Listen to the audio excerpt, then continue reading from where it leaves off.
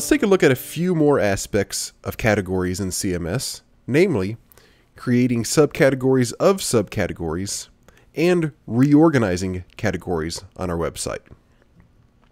So we do need a new category for our coffee. So first we're going to add a new subcategory to our default category, just as we've done for mugs.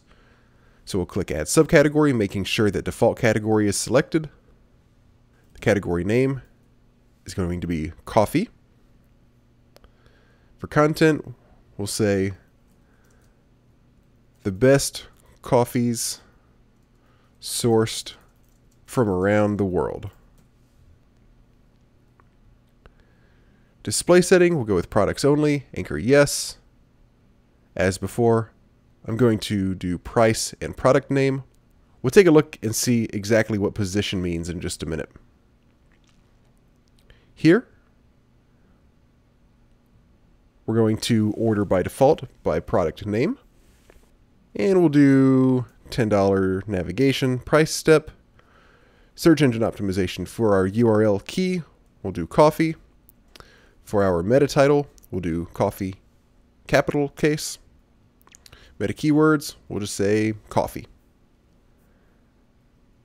Meta description, I'll use our page description. I'm not going to add any products from the category page. We'll do that from the product pages this time. So we'll save that. Now, of course, we have a new subcategory. But let's say that we want customers to be able to browse by coffee type, and specifically coffee region.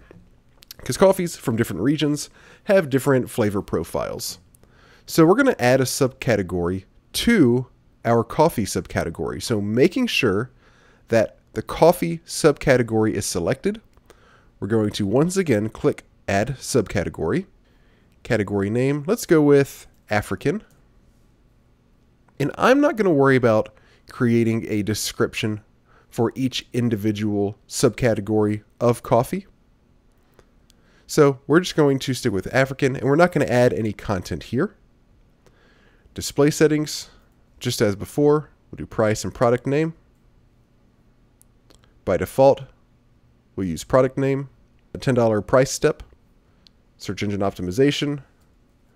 We'll use African for our URL key, or maybe even African hyphen coffee will be better. African coffee for our meta title, coffee, African coffee for our meta keywords.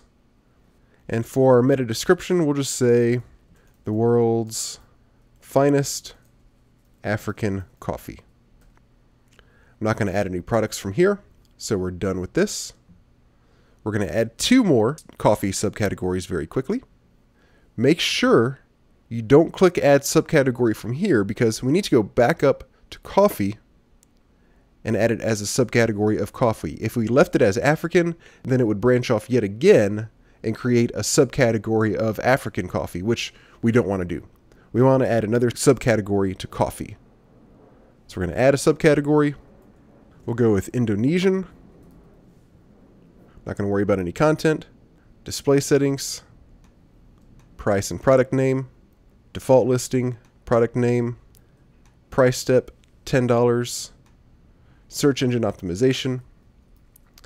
Indonesian dash coffee for our URL key, Indonesian coffee in title form for our meta title, then coffee and Indonesian coffee for meta keywords and meta description, the world's finest Indonesian coffee.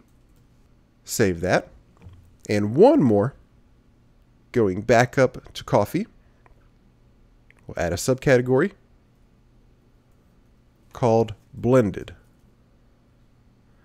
Display settings, price and product name, default listing, product name, navigation price step, $10, search engine optimization, blended dash coffee, meta title, blended coffee in title form, meta keywords, coffee and blended coffee, and meta description blended coffee made from some of the world's best coffee.